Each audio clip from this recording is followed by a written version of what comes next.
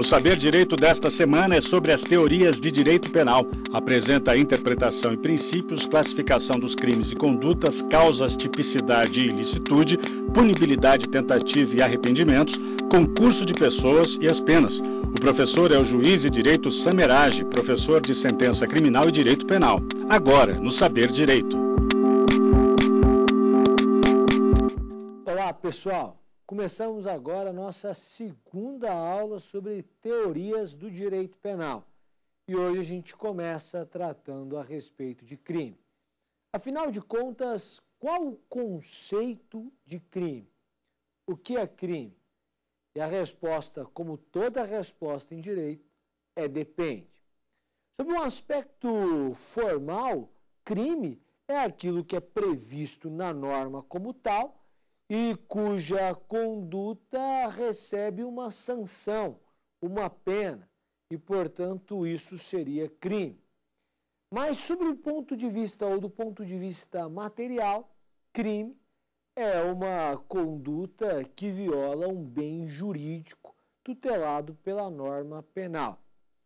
Esses dois conceitos são conceitos importantes mas o conceito mais importante é o conceito de crime sob o enfoque analítico. Qual o conceito analítico de crime?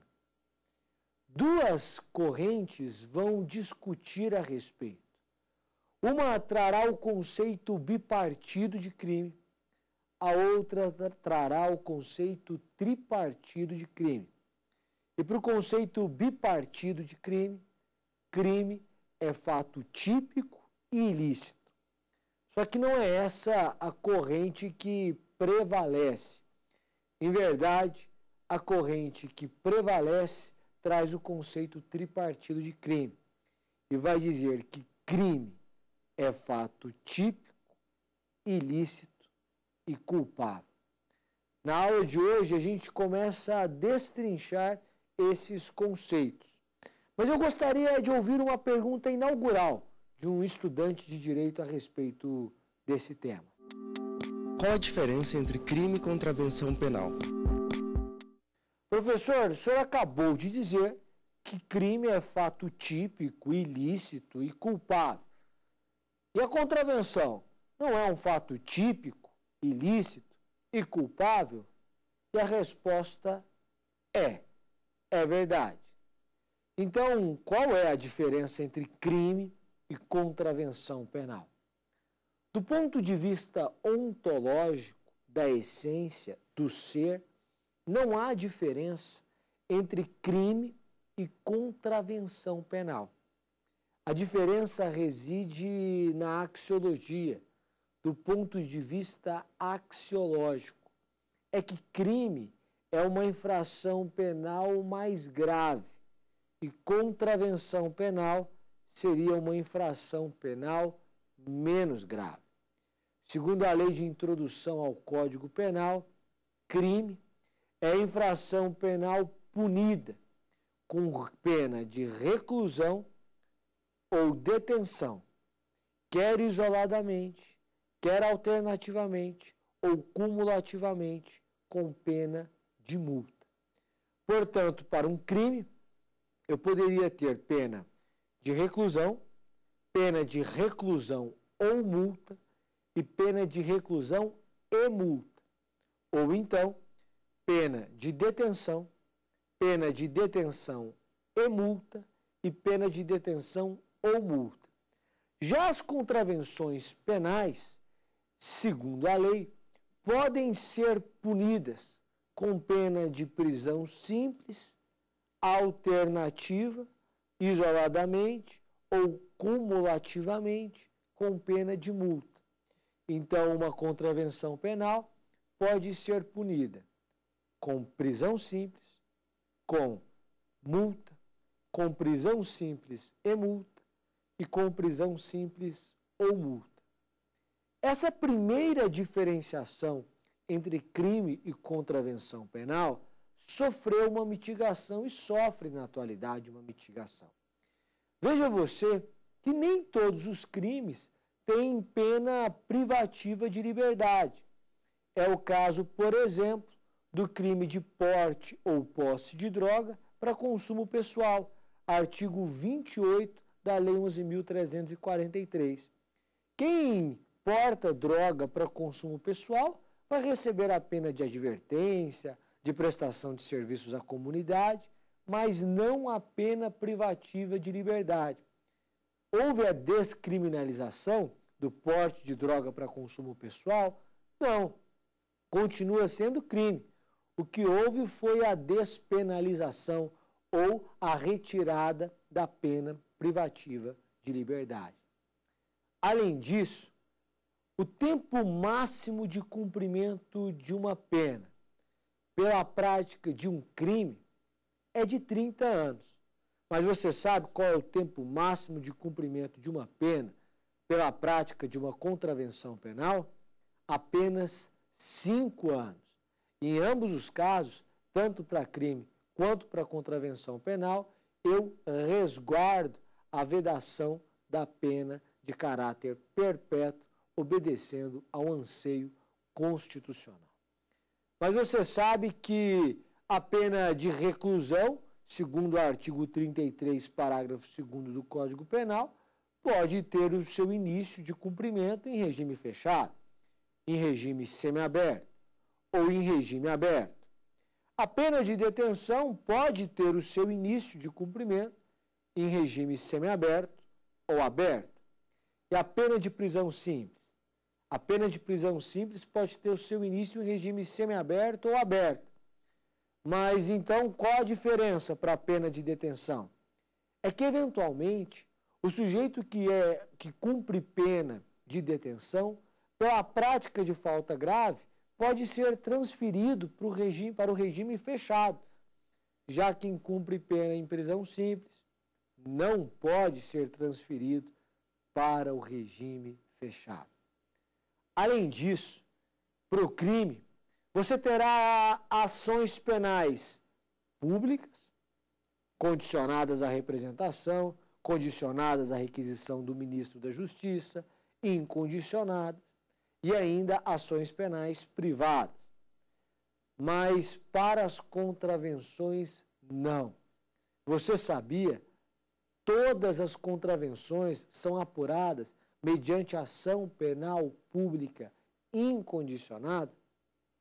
Além disso, as contravenções não admitem punição a título de tentativa.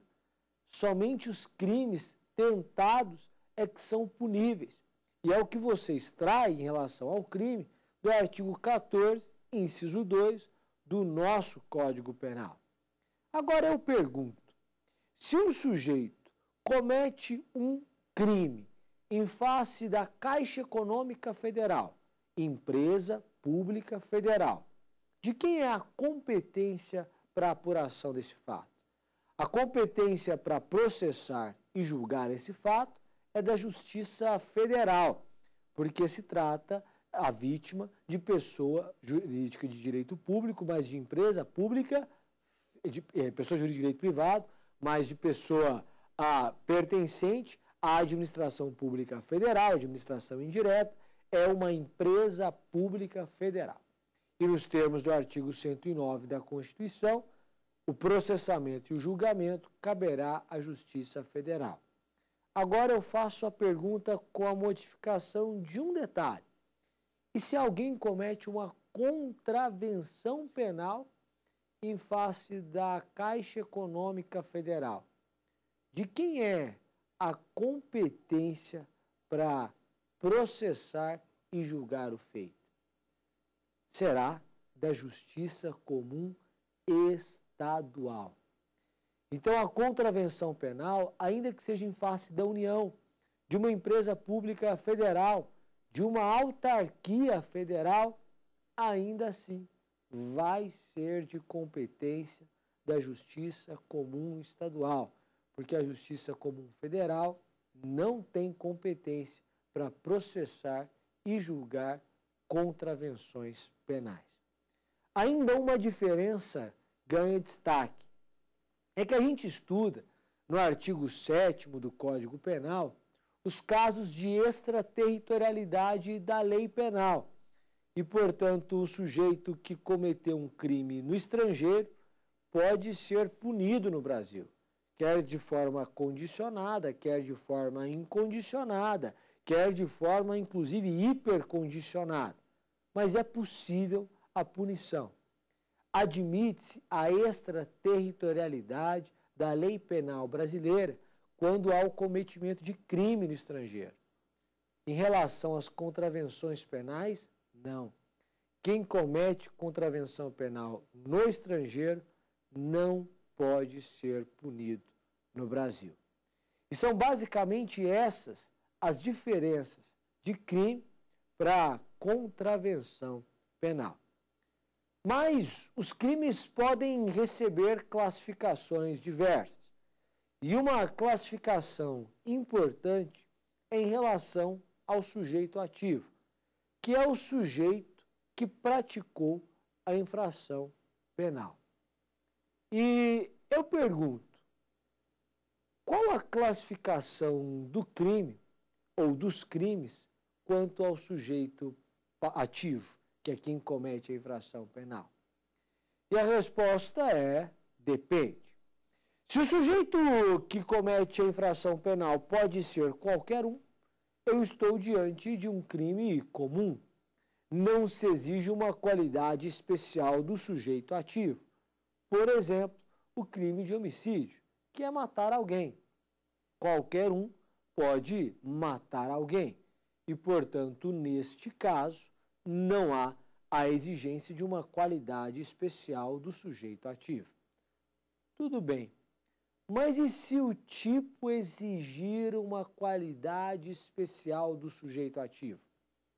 Nesse caso, eu não estou diante de um crime comum. Nós chamamos este crime de crime próprio, porque exige essa qualidade especial do sujeito ativo.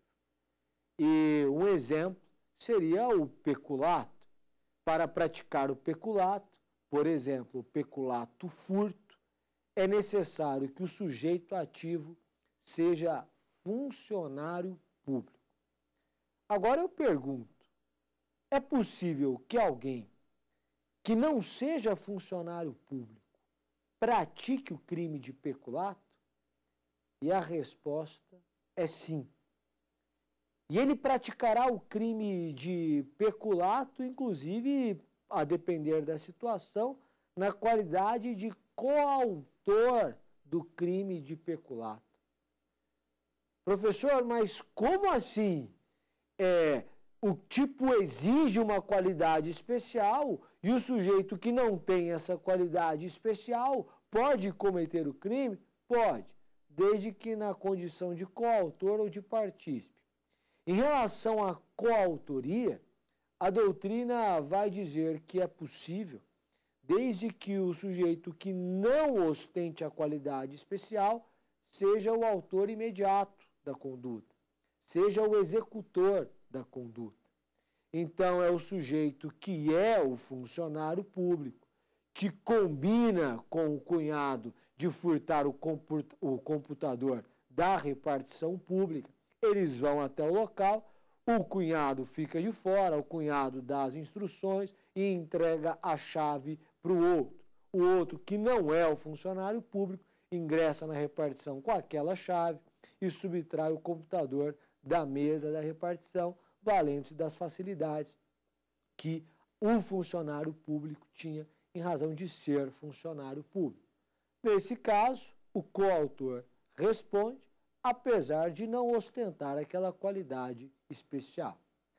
Mas é possível que estejamos diante de uma infração penal que exija do sujeito não apenas uma qualidade especial, mas exija também a sua atuação pessoal. São chamados crimes de mão própria. Nesses crimes, mais do que a qualidade especial, eu preciso da atuação pessoal do sujeito. É o caso, por exemplo, do crime de falso testemunho. O sujeito não basta ser testemunha, é preciso que a testemunha minta em juízo ou cale a verdade em juízo. E nesses casos, eu vou admitir coautoria? É possível coautoria em crimes de mão própria? E a verdade é que, via de regra, pelo entendimento que prevalece, não se admite coautoria nos crimes de mão própria. O que vai se admitir aqui é coautoria, é participação nos crimes de mão própria. E lembro a você que, e nós vamos estudar isso ainda, mas lembro a você que, em verdade, segundo o nosso ordenamento jurídico, o autor seria aquele que pratica o núcleo do tipo, que subtrai, que ah, mata, que é, constrange, e o partícipe é aquele que auxilia de qualquer forma, mas sem praticar o núcleo do tipo.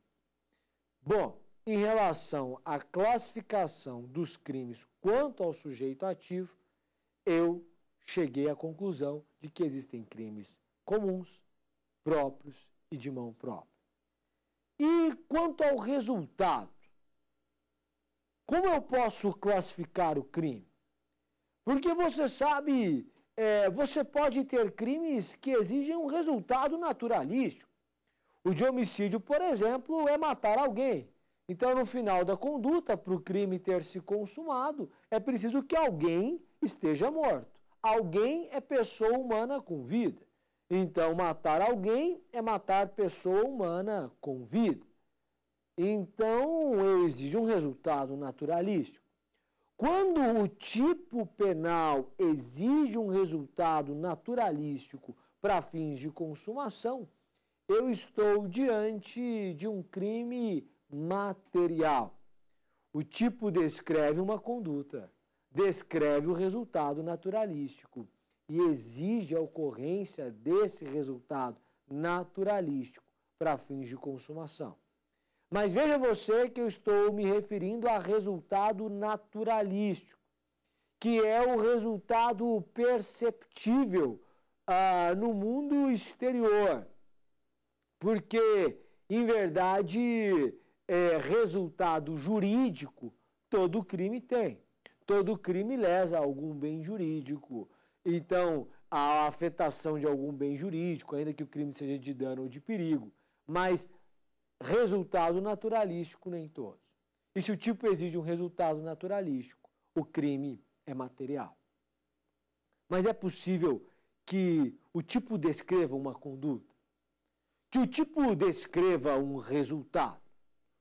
Mas, para fins de consumação, o tipo nem exija esse resultado. Então, apesar de estar descrito ali, se o sujeito pratica conduta, eu já considero que está consumada a infração penal. Eu não preciso do resultado. E esses crimes são chamados de crimes formais. E você pode compreender isso a partir de um exemplo. No crime de extorsão mediante sequestro, no momento em que o sujeito sequestra outro, com a finalidade de obter vantagem indevida, naquele momento está consumada a infração penal. Se ele vai conseguir a vantagem ou não, se alguém vai pagar o resgate ou não, isto não tem importância para fins de consumação do crime. Se ocorrer o pagamento do resgate, terá havido o exaurimento da infração penal, mas não terá havido a consumação. A consumação já terá ocorrido muito antes disso. O pagamento do resgate é exaurimento e pode ter repercussão e terá para fins de dosimetria da pena. Aqui nesse ponto vale fazer uma distinção Dentro desses crimes formais, que são delitos de tendência interna transcendente, você consegue dividir e classificá-los em delito mutilado de dois atos e delito de resultado cortado. E é preciso fazer essa distinção teórica.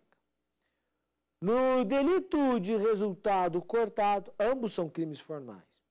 No delito de resultado cortado, eu pratico uma conduta. Já está consumada a infração penal. Eu quero que uma outra conduta seja praticada porque eu quero alcançar um outro resultado. É o caso do sequestro. Eu não sequestrei porque simplesmente eu quero sequestrar. É porque no final das contas eu quero que alguém pague um resgate. Então eu pratico uma conduta, está consumada a infração penal, mas eu estou esperando que uma outra conduta seja praticada, qual seja o pagamento de resgate. Que não tem importância para a consumação, mas tem importância para exaurimento. Mas eu estou sequestrando com esta finalidade. Agora veja você que essa segunda conduta depende de uma outra pessoa, não depende de mim. Você sequestra alguém e pede o resgate. E quando você pede o resgate, a terceira pessoa pode dizer simplesmente: eu não vou pagar. E pronto. Esse segundo resultado, essa segunda conduta, independe da sua vontade e da sua atuação. No delito mutilado de dois atos, eu também tenho crime formal ele também se consuma com a prática da primeira, infra, a primeira conduta. Mas eu quero praticar uma segunda conduta. Mas para fins de consumação da infração penal não há relevância. Para fins de exaurimento, sim. Mas para fins de consumação, não. No crime de petrechos para falsificação de moeda, o simples fato de eu possuir os petrechos já implica a consumação da infração penal.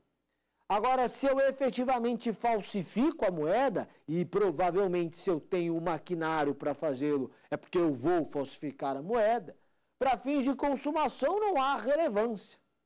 Mas para fins de exaurimento, tudo bem, para dosimetria, tudo bem, mas para fins de consumação, não. Mas veja você que a segunda conduta, que é a falsificação, evidentemente, ela é uma segunda conduta que eu também pratico. E por isso o delito é o mutilado de dois atos. São dois atos praticados pelo próprio sujeito ativo. No delito de resultado cortado, o segundo ato não é praticado pelo sujeito ativo. Mas pode ser que a infração penal simplesmente descreva uma conduta. Ela não descreve um resultado. E nem precisa do resultado naturalístico. O tipo sequer prevê o resultado. É o caso do crime de injúria.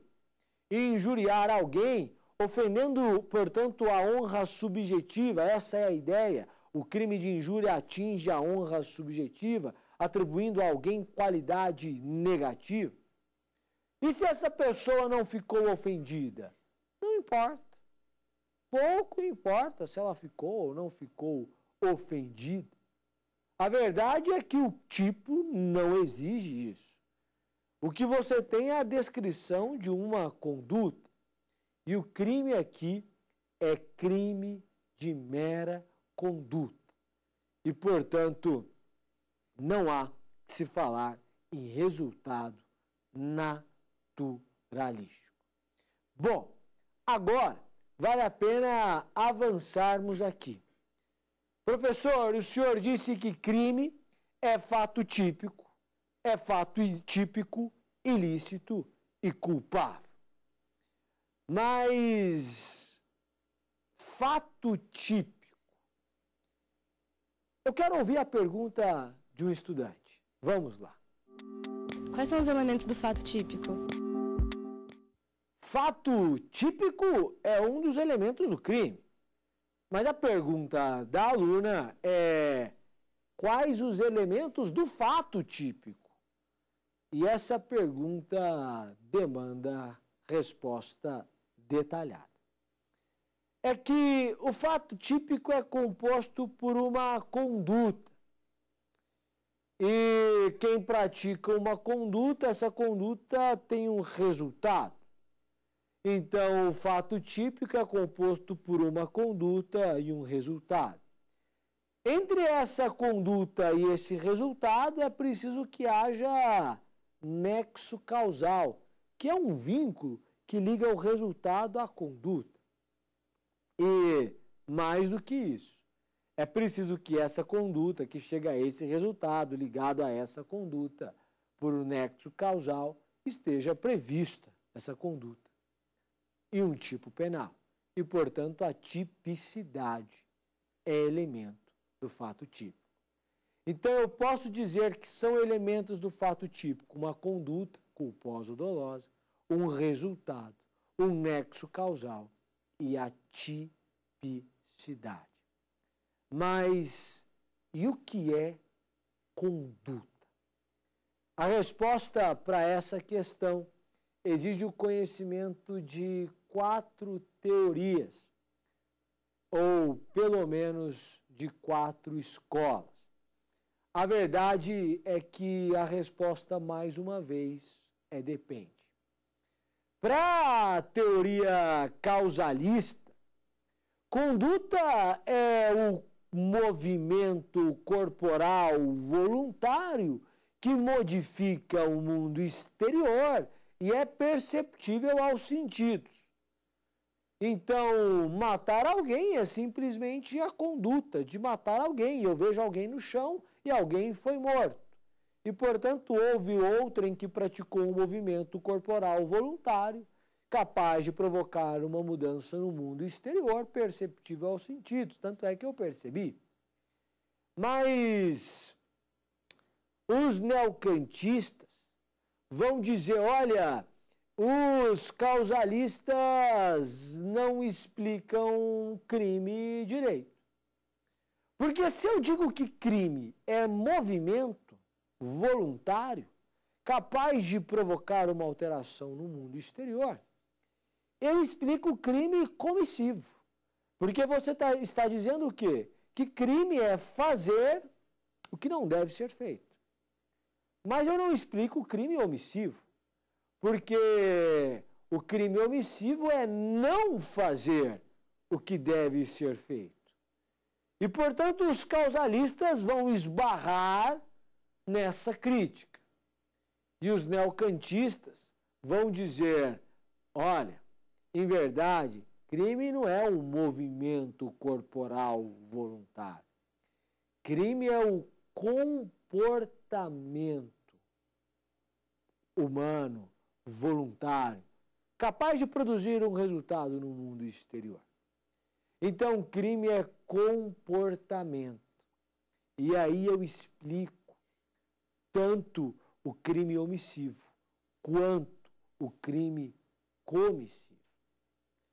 Mas tanto os neocantistas quanto os causalistas dirão: tudo bem, Crime é fato típico, lícito. Ah, culpado. Só que, dentro da culpa, os causalistas dirão: culpa é constituída é gênero, tem uma imputabilidade, mas culpa é gênero, do qual são espécies o dolo e a culpa. A culpabilidade é gênero, do qual são espécies o dolo e a culpa. E o dolo aqui é normativo. O sujeito tem consciência da ilicitude de sua conduta, do seu comportamento. Tudo bem. Os neocantistas vão dizer: não, tudo bem, é, a, crime é fato típico, ilícito, culpável, e a culpabilidade é composta por imputabilidade ela é composta por exigibilidade de conduta diversa e é composta por dolo e culpa. Veja você que dos, dos causalistas para os neocantistas eu tenho uma melhora na análise da culpabilidade. Uns vão dizer que culpabilidade, os primeiros, é gênero, do qual são espécies dolo e culpa. Os outros vão dizer, não, a culpabilidade tem elementos, são eles a imputabilidade, a exigibilidade de conduta diversa e o dolo e a culpa. E o dolo é realmente essa consciência da ilicitude também. Portanto, é o dolo normativo. É saber que está fazendo e que o que está fazendo é coisa errada. É mais ou menos essa a ideia. Então você está me dizendo que dentro do conceito de crime eu vejo o fato típico, ilícito e culpável. E só lá na culpabilidade que eu vou ver o que passava na cabeça do sujeito. Porque é só lá que está o dolo. É só lá que eu verifico o que ele gostaria de fazer, o que ele quis fazer. Certo? Aí vem um sujeito chamado Weltzel, que desenvolve a teoria finalista e vai dizer, preste atenção aqui. João pega uma faca e dá uma facada na barriga de José. A ambulância é chamada, as pessoas interrompem João, João vai embora. José é levado ao hospital. Submetido à cirurgia, ele fica 40 dias hospitalizado. Depois ele volta ao trabalho. A pergunta que eu faço para você é: João cometeu que crime? Homicídio tentado ou lesão corporal grave consumada? E a resposta é: depende. Depende da intenção de João. João intentava matar José, então teremos homicídio tentado. João desejava lesionar José, a facada foi na barriga, uma facada só, então teremos lesão corporal grave consumada. Mas veja você que, em verdade, eu preciso perquerir sobre a intenção de João. E, portanto, esta análise do que, que ele psiquicamente queria praticar é uma análise que me devolve lá para o fato típico. Porque quando eu é, defino qual o fato típico, eu preciso definir se foi homicídio tentado ou se foi lesão corporal grave consumada. E logo, o dolo não pode ficar na culpabilidade. Eu não posso deixar para analisar o que ele queria fazer quando eu chegar na culpabilidade. O que ele queria fazer, eu preciso e preciso descobrir antes. Eu preciso pegar esse dolo que está na culpabilidade e remetê-lo ao fato típico. E é isso que a teoria finalista vai dizer. Ela vai dizer: é preciso que você faça uma distinção. Dolo, ele precisa estar lá no fato típico. E, portanto, conduta é o comportamento humano voluntário, psiquicamente dirigido a um fim. E, portanto, o fim a que se dirige, eu preciso saber para a definição do fato típico. Tudo bem, mas e agora como é que ficou a culpabilidade para os finalistas? Os finalistas vão dizer: a culpabilidade é composta por imputabilidade, sim. É composta por exigibilidade de conduta diversa? Sim. E é composta também da potencial consciência da ilicitude. E, portanto, o dolo e culpa migram para o fato típico, e o dolo que migra para o fato típico é o dolo natural, é o dolo despido da consciência da ilicitude da conduta. Então, eu vou ver se o sujeito tinha potencial consciência da ilicitude ou não, lá na culpabilidade. Se o sujeito pescava é, em uma cidade de 5 mil habitantes, ele tem 70 anos e não sabia que aquele momento era de pesca proibida, porque ele faz isso há 30 anos. Ele pescou porque quis sabia que estava pescando, portanto praticou o fato típico. O fato é ilícito porque não há presença de nenhuma excludente de ilicitude, mas pode ser que esteja presente uma excludente de culpabilidade, porque ele não tinha potencial consciência da ilicitude. Mas isso eu vou verificar lá na culpabilidade. E o que interessa agora é que Weltzel vai dizer, portanto, conduta é o comportamento humano voluntário, psiquicamente dirigido a um fim. Mas aí nós vamos evoluir para uma outra teoria, que é a teoria social da ação. E a teoria social da ação vai dizer que conduta é o comportamento. Ela vai dizer está todo mundo correto. E conduta é o comportamento humano voluntário, psiquicamente dirigido a um fim, socialmente reprovável. E, então, para que haja conduta, é preciso que esse comportamento humano voluntário, psiquicamente dirigido a um fim, seja também socialmente reprovável. E se ele não for socialmente reprovável, então não há que se falar em conduta e não há que se falar em crime. A crítica que se faz a essa teoria é que, em verdade, ela acaba por criar uma insegurança jurídica, já que não se sabe exatamente o que é e o que não é socialmente reprovável, ou quando uma conduta deixa de ser socialmente reprovável, sendo que o era até pouco tempo atrás. Bom, conduta portanto, exige dolo. E o que é dolo? E a resposta, mais uma vez, é depende. Depende da teoria que se adota. Dolo, via de regra, e o dolo que nós nos referimos aqui ao natural, da teoria finalista, que é a teoria que adotamos no nosso Código Penal, Dolo é a vontade de praticar uma conduta e de alcançar determinado resultado. Essa é a teoria da vontade.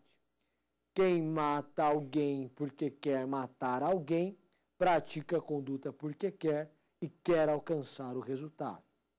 Isso nós chamamos de teoria da vontade. Isso nós chamamos de dolo direto mas é possível que a minha conduta seja voluntária, eu faço porque quero fazer, mas eu nem quero aquele resultado, mas eu assumo o risco de produzir. O resultado não é desejado, mas é indiferente. Para mim, se ele acontecer, aconteceu. Neste caso, eu também atuei com dó eu previ um resultado que era previsível, mas continuei a minha conduta, assumindo o risco de produção daquele resultado. E nós chamamos isso de dolo eventual. E que nós adotamos no nosso Código Penal e que é chamado de teoria do assentimento. Veja você, portanto, que, em relação ao dolo, nós adotamos a teoria do, da vontade e a teoria do assentimento. Cuidado, nós não adotamos a teoria da representação. O que diz a teoria da representação? Diz que haveria dolo quando o sujeito previsse o resultado que era previsível, mas acreditasse sinceramente que esse resultado não ocorreria. Veja você, o sujeito previu o resultado que era previsível, mas acreditou sinceramente que o resultado não aconteceria. Isso é teoria da representação. Nós não a adotamos em relação ao dolo. Nós consideramos este comportamento como culpa consciente o sujeito previu o que era previsível, mas acabou por continuar atuando, acreditando sinceramente que o resultado não aconteceria. Existe uma linha muito tênue que separa o dolo eventual da culpa consciente. É que dificilmente no caso concreto é possível dizer com certeza se o sujeito assumiu o risco de produzir o resultado ou se ele acreditou que o resultado não aconteceria. Quem dirige a 200 km por hora em uma rua residencial, bairro residencial, em uma rua estreita, assume o risco de atropelar alguém e matar, e portanto age dolo, com dolo eventual, ou imagina que pode atropelar alguém, mas acredita que não acontecerá, ou que se acontecer não ocorrerá a morte, e portanto age com culpa consciente. Isso vai depender de cada caso concreto. Mas veja você que o dolo é a vontade de praticar uma conduta e de alcançar determinado resultado. E eu chamo isso de dolo direto. E se eu digo que há um dolo direto, é porque existe também um dolo indireto. Tá. O dolo indireto se subdivide em dolo eventual e em dolo alternativo. Em relação ao dolo alternativo, em relação ao dolo alternativo eu já explico. Em relação ao dolo eventual, eu já expliquei. Mas o que é dolo alternativo? O dolo alternativo é o dolo do se acontecer isso ou aquilo, por mim tudo bem. Ou se acontecer isso com este ou com aquele, por mim tudo bem. Então é alternativo. Quando João pega uma pedra e joga em direção a José, ele pensa: pode bater na cabeça de José e matá-lo, pode bater no ombro de José e feri-lo. Para mim, pouco importa, matá-lo ou feri-lo. Ele atua com dolo alternativo objetivo.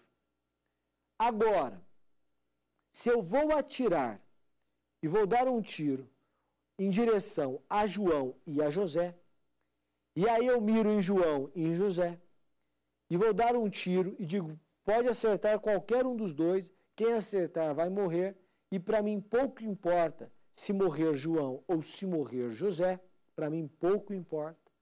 Neste caso, eu tenho um dolo alternativo subjetivo. Se quem vai morrer é João ou se quem vai morrer é José, pouco importa. Importa que um dos dois morra. Agora, é possível ainda que eu esteja diante de um dolo alternativo, subjetivo, objetivo, ou objetivo, subjetivo. Que ocorre quando eu pego a pedra e lanço em direção a João e José e penso, pode acertar João ou José, e pode acertar na cabeça de um ou no ombro de um, e na cabeça do outro ou no ombro de outro. E para mim pouco importa se vai acertar João ou José, e se acertando qualquer deles vai matar ou lesionar. Eu tenho um dolo alternativo, objetivo, subjetivo. Mas o dolo pode ser direto, que é essa teoria da vontade. E esse dolo direto pode ser um dolo de primeiro grau, de segundo grau ou de terceiro grau. Eu quero ouvir a pergunta do estudante. Dolo eventual e dolo de segundo grau são a mesma coisa? Bom, dolo eventual você já sabe o que é. E dolo de segundo grau? O que é? O exemplo torna tudo mais claro. João deseja matar o presidente de uma multinacional.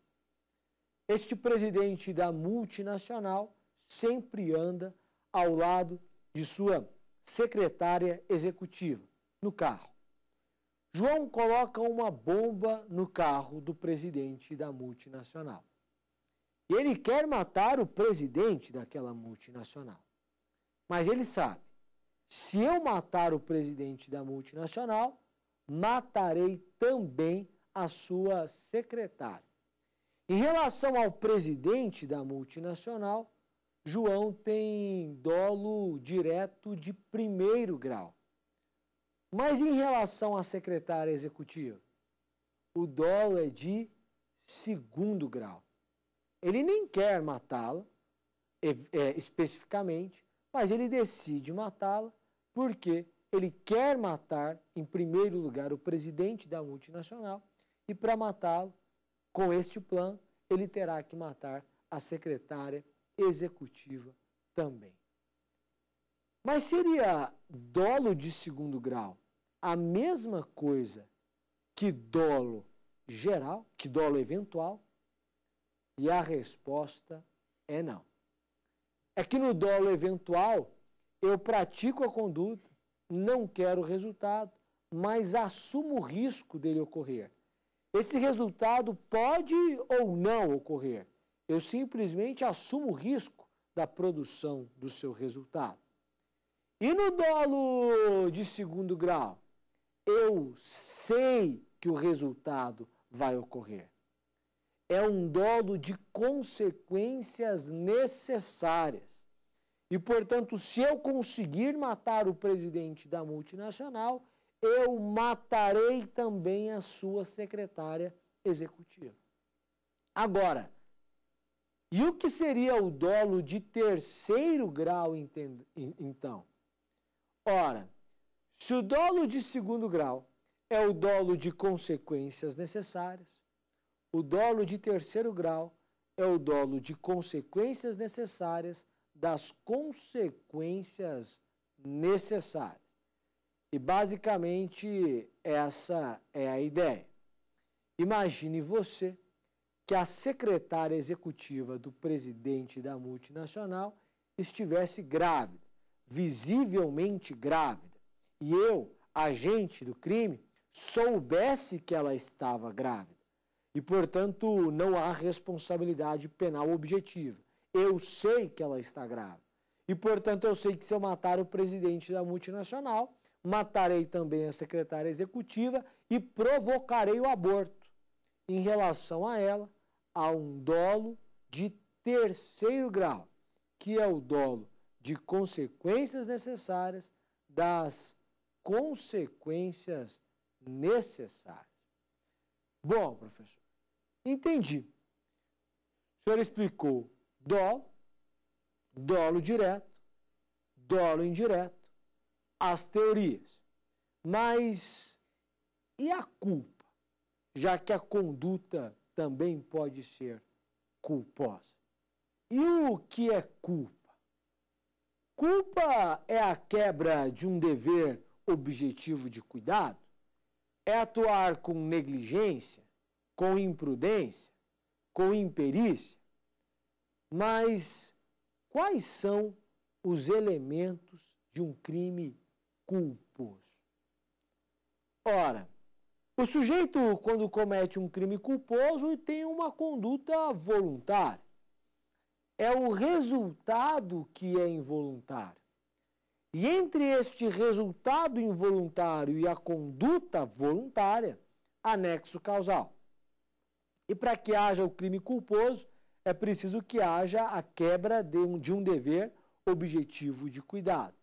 E além disso tudo, é preciso que o sujeito, que aquela conduta tenha previsão no tipo penal. Então, portanto, se eu estou sentado na mesa com João e pego a carteira de João pensando que é a minha, apesar da carteira de João ser vermelha e a minha ser preta, eu atuo culposamente, porque não houve ali a prudência necessária. Imprudentemente eu peguei a carteira de João achando que era minha e fui embora. Neste caso, haveria furto culposo. Houve conduta voluntária, resultado involuntário, nexo causal, quebra de dever objetivo de cuidado, mas não há tipicidade e falta um dos elementos do crime culposo. Ah, então é necessária também a tipicidade. Sim. Veja você que a conduta é voluntária, eu fiz porque quis. O resultado que é involuntário, eu não alcancei porque eu não quis alcançar. É, eu, não, eu alcancei um resultado que eu não queria alcançar. E é por isso que crime culposo não admite tentativa. Porque a tentativa é justamente não alcançar o que eu quero. E no crime culposo eu alcancei o que eu não quero. E por isso que não se admite. Mas é preciso que haja uma quebra de um dever objetivo de cuidado. E para essa quebra de dever objetivo de cuidado, eu analiso se o sujeito atuou prudentemente ou imprudentemente, se ele agiu negligentemente ou se houve imperícia. E afinal de contas, o que cada um desses conceitos quer dizer? Na imprudência, eu fiz o que eu não deveria ter feito. E, portanto, eu estava a 200 km por hora em uma rua em que eu deveria estar a 40. Imprudência. Na negligência, eu não fiz o que deveria fazer. Eu não troquei os pneus do carro, que estão carecas, e, portanto, eu deveria ter trocado. E eu só derrapei e lesionei alguém porque os pneus estavam carecas. Eu fui negligente. E o que é a imperícia? A imperícia é a falta de aptidão técnica. É o médico que, não estando apto para operar, como cirurgião plástico, por exemplo, vai lá e opera. Faltou aptidão técnica e, portanto, houve imperícia. Para esses três pontos, você exigirá um juízo de valor feito pelo juiz, que terá que analisar a situação em concreto e, portanto, é necessária a valoração por parte do magistrado. Bom, na aula de hoje, então, nós acabamos tratando sobre o conceito de crime, classificação, fato típico, conduta, dolo e culpa. Espero você na próxima aula. Um abraço e até mais. Tchau, tchau. Ficou com dúvidas? Então mande um e-mail para saberdireito@stf.jus.br. E você também pode estudar pela internet. Basta acessar o site tvjustiça.jus.br.